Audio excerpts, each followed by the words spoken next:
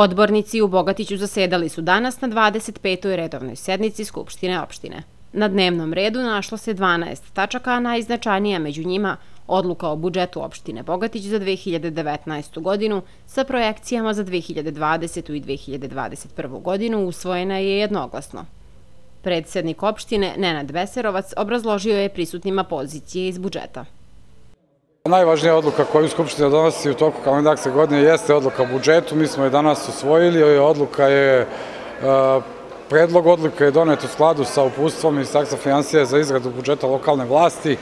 Reper nam je bio rebalans u budžetu koji smo usvojili početak godine, s tim što je na sednici opštinskog veća doneta odluka da ove kapitalne investicije za koje smo izradili projekt projekte u toku ove kalendarske godine, a to jeste prva faza sekundarne mreže kanalizacije za koju je izdata i građevinska dozvola, to jesu putevi, trotoari, ulice u prvoj zoni Bogatića i po našim mesnim zajednicama, pa se nadam da ćemo u saradnji sa Republikom Srbijom uspeti da ove e, kapitalne investicije izguramo u sledećoj godini, a što se tiče kanalizacije, ja sam već imao sastanak sa zamenicom e, direktora Kancelarije za upravljanje javnim ulaganjima Sandrom Nedeljković i obzirom da smo mi još e, prošle godine konkurisali za javni poziv za komunalnu infrastrukturu, oni su nas uputili na koji način možemo doći do tih sredstava i mi već se krećemo u tom pravcu.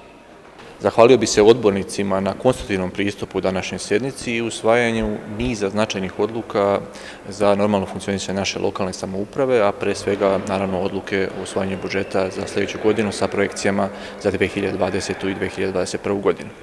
Budžet je na prvi pogled koncipiran na realnim osnovama, ima, ima elemente socijalnog, ali je pre svega okrenut razvoju, kapitalnim ulaganjima i unapređenju života svih naših sugrađana.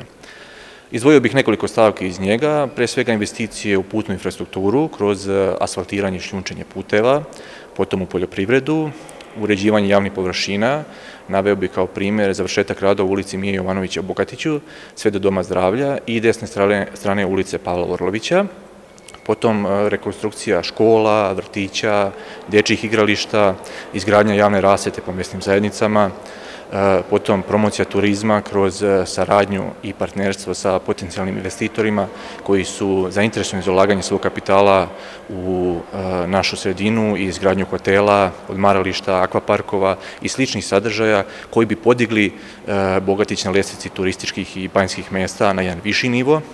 I ono što bi sada u ovom trenutku posebno apostrofirao i izdvojio kao novost i nešto što nije bila praksa prethodnih godina i prethodnim budžetima, a to je predviđena pozicija od 100 miliona dinara za nastavak radova na izgradnji sekundarne kanalizacijone mreže, kao jednostavno osnovnog preduslava za privredni oporavak naše sredine, mogućnost zapošljavanja novih ljudi, privlačenja novih investicija i naravno ostanak mladih kao rekao bih prioriteta nad svim ostalim stvarima i to bi trebalo biti praksa ne samo ovog budžeta, nego i za sve naredne. Da zaključim, apsolutno je jasno da je budžet ambiciozan i sada je na svima nama u lokalnoj samoupravi da damo svoj doprinos, da ovaj budžet e, sprovedemo u konkretan i vidljiv rezultat, a naravno sve na radost i zadovoljstvo svih naših građana. Na sednici je podržana i odluka o usvajanju akcijonog plana za mlade od 2018. do 2023. godine, a obrazložila ju je Ivana Đukić, načelnik Odeljenja za financije i lokalno-ekonomski razvoj. Izglasana je i odluka o usvajanju strategije bezbednosti saobraćaja na putevima u opštine Bogatić za period narednih pet godina. Predstavnik Automoto Saveza Srbije Petar Tasić predstavio je prisutnima prednosti ovog strateškog dokumenta.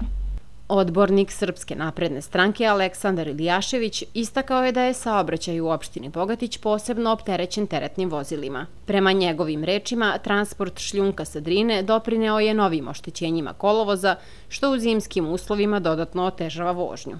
Jednoglasno je usvojen i poseban program korišćenja subvencije i sredstava budžeta opštine Bogatić, a odbornici su dali saglasnost i odluci nadzornog odbora javno-komunalnog preduzeća Bogatić o kreditnim zaduženjima. Izglasana su i razrešenja predsednika Upravnog odbora Doma zdravlja Bogatić, kao i imenovanje novog.